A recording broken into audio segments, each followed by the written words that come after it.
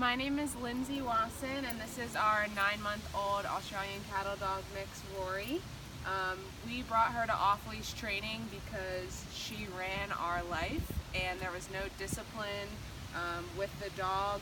But just in the few minutes of working with her with Josh, um, we can already tell she would never be sitting like this calmly, um, and I think it's it's a world of a difference. You can just tell right off the bat that she has gained a little bit of discipline that she really needed, and we're very happy that she went through this experience because it'll help us for the whole life of her, and be, she'll be happy for from now on with us.